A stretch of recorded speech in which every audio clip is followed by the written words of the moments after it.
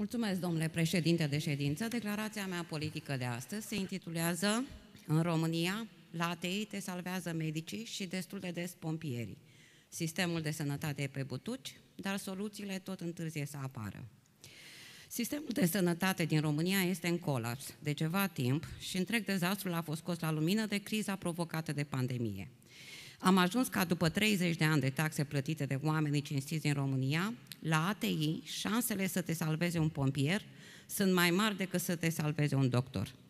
Ultimul incendiu de la secția ATI a spitalului din Constanța se înscrie în nota deja obișnuită a incendiilor din spitalele din România, lăsate de 30 de ani de izberiște și ajunse adevărate camere de gazare cu nosocomiale și ruguri în loc de paturi. În ultima perioadă, dezastrele din sistemul medical român se țin lant, iar motivele sunt multe. Unul dintre cele mai importante dintre ele este epuizarea cronică a angajaților din spitale. Degeaba cadrele medicale sunt mai bine plătite, dacă numărul acestora este prea mic pentru nevoile populației, în multe localități fiind mai puțin doctori față de cât prevede legislația în vigoare, respectiv 2,3 la mia de locuitori pentru municipii și 1,8 pentru orașe. În condițiile economice de astăzi, unele care fac ca mulți medici să părăsească în continuare țara pentru state mai prospere economic, adăugând și criza precipitată din sistemul medical, generată de COVID-19, se poate concluziona că situația este îngrijorătoare, personalul medical fiind insuficient în multe localități, cifrele din legea mai sus menționată, nerespectându-se în prea multe cazuri. De la Traian Băsescu încoace, mulți au tratat superficial problema și au crezut că dacă medicilor nu le convine în țară, pot să plece unde vor vedea cu ochii. Acel, acest lucru nefiind considerat o dramă, chiar așa exprimându-se și fostul președinte. Medicii români nu au stat pe gânduri și au plecat cu miile, cu zecile de mii chiar, criza din sănătate adâncindu-se tot mai tare de la an la an.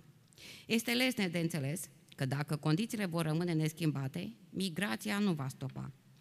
Fără o strategie bine gândită, nimic nu se va întâmpla și va exista în continuare acest exod al forței de muncă, atât a celei de bază, dar și mai grav, migrația creierelor. Este o tragedie pentru țările cu economii firave, precum a noastră, că le pleacă elitele, iar medicii fac și ei parte din acest tablou general.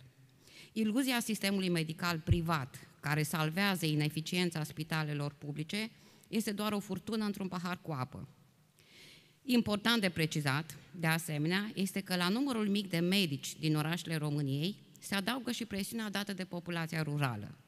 Medicii de la oraș deservesc și nevoile pacienților de la sate, care, în condițiile jalnice ale dotărilor medicale din zonele rurale, marea majoritate fără dispensare unități sanitare, se duc să se trateze tot la spitalele și medicii din orașe. Deci cifrele din statisticile referitoare la numărul de medici raportat la populație trebuie privite cu și mai mare rezervă. De exemplu, spitalul de boli infecțioase din Constanța, în care s-a petrecut ultima tragedie cu șapte morți arși la TI, tratează nu doar bolnavii din oraș sau din județ, ci din toată Dobrogea. Recentele dezastre din sistemul public de sănătate sunt proba faptului că societatea românească merge din rău în mai rău.